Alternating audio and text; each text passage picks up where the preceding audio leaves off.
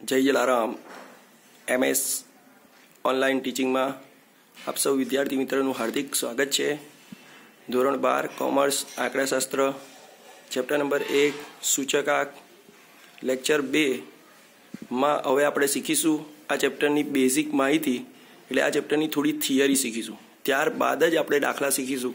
કોઈપણ ચેપ્ટર ડિટેલમાં આવડવા માટે સૌથી પહેલાં તો એ ચેપ્ટરની થિયરી આવડવી જરૂરી છે. તો આપણે દરેક સ્વધ્યેયની આગળ જે થિયરી આવશે એ પહેલાં ભણીશું અને ત્યારબાદ જ એ જ એ જે સ્વધ્યેયની જે મેથડ હશે એ શીખીશું. જેથી આ ચેપ્ટર તમને ડિટેલમાં આવડે.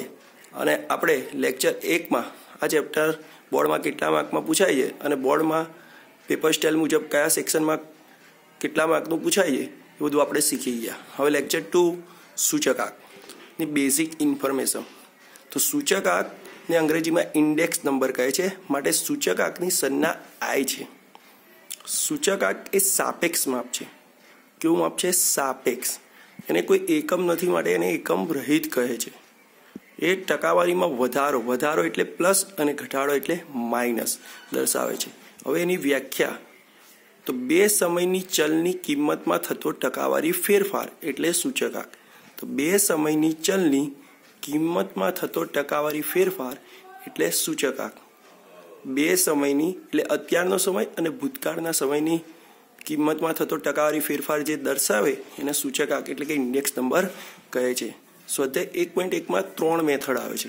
એમાં બે મેથડના નામ મેં લખેલા છે. એક અચલ આધારની રીતે સૂચકાંક શોધો અને પરંપરિત આધારની રીતે સૂચકાંક શોધો. હવે આ ચેપ્ટરના દાખલા આના પછીના લેક્ચરમાં આપણે શીખીશું. પણ આ બે મેથડો વિશે હું તમને થોડું ટૂંકમાં દર્શાવી દઉં. અચલ આધારની રીતે સૂચકાંક અને પરંપરિત આધારની રીતે સૂચકાંક. તો અચલ આધારની રીતે સૂચકાંક શોધવાનું સૂત્ર છે આઈ બરાબર ચાલુ વર્ષનો ભાવ અપોન આધાર વર્ષનો ભાવ ગુણ્યા સો. અચલ આધાર રીતનું સૂત્ર છે. ચાલુ વર્ષનો ભાવ અપોન આધાર વર્ષનો ભાવ ગુણ્યા સો. અચલ આધારની રીતમાં આધાર વર્ષ ક્યારેય બદલાતું નથી. એટલે કે એનો જે છેદ હોય, એનો એ જ રહે છે. એ લાંબા ગાળા માટે વાપરી શકાય. લાંબા ગાળાના જે સમયની સાપેક્ષ ટકાવારી ફેરફાર શોધો હોય, તો અચલ આધારિત રીતનો ઉપયોગ થાય. છે જ્યારે પરંપરિત આધારિત રીતનું સૂચકાંક શોધવાનું સૂત્ર છે, ચાલુ વર્ષનો ભાવ અપોન અગાઉના વર્ષનો ભાવ ગુણ્યા સો. એ ટૂંકા ગાળા માટે વપરાય છે અને એમાં આધાર વર્ષ દરેકે દરેક વખતે બદલાય છે. હવે આ ચેપ્ટરની રીતના દાખલા કેવી રીતે ગણવા? આ ચેપ્ટરની રીતના દાખલામાં રકમમાં શું આપેલું હશે? આના પછીના લેક્ચરમાં સો ટકા શીખીશું. અત્યારે લેક્ચર ટુનું ફરી એકવાર રિવાઇઝ કરીએ. તો સૂચકાંકની સંજ્ઞા આય છે. એને એ સાપેક્ષ માપ છે. એ એકમ રહિત છે. એ ટકાવારીમાં થતો વધારો અને ઘટાડો દર્શાવે છે. એની વ્યાખ્યા, બે સમયની ચલની કિંમતમાં થતો ટકાવારી ફેરફાર એટલે સૂચકાંક સ્વાધ્યાય એક પોઈન્ટ એકમાં ત્રણ મેથડ છે.